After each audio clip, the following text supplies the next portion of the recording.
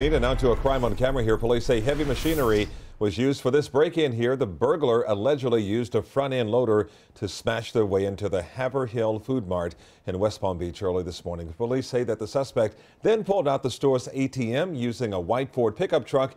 If you know who did this, call the Palm Beach County Sheriff's Office.